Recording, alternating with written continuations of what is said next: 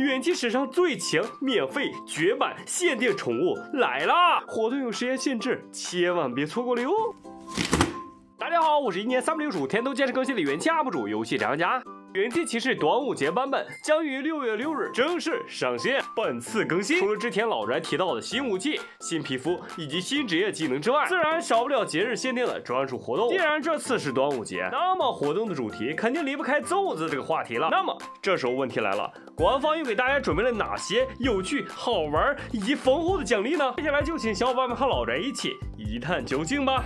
这次活动叫做粽子大作战，玩法居然有些像远古赛季中的小小指挥官。玩家只要在关卡模式中使用各种配料培养咱们的粽子宠物就可以了。每种配料分别代表着不同的属性以及后期的进化方向。每种性格的粽子都有自己独特的攻击方式，例如狂野粽子就有召唤猴武元祖大哥大超级一拳的能力哦。看着一击全屏的霸气表现，比咱们玩家本体啊都不很多少。我一时都搞不清楚谁才是主角。总之，粽子的风格很多，老人人。就不在这里剧透了，到时候正式登场，再给大家一些惊喜吧。本次的粽子活动也和之前的打铁节一样，通过获得指定道具来兑换绝版奖励，而这些道具就是粽子叶，击败活动中的关卡 BOSS 就能获得。看来接下来小伙伴们又有的干了。这次限定活动最吸引老宅的奖励就有两个，一个是粽小的宠物，还有一把是蓝图武器粽叶枪。作为新宠物，粽小的实力也很强。进入关卡后，它会随机变成一个口味的粽子，并且获得相应的增益。只不过它只有口味，没有风格哟。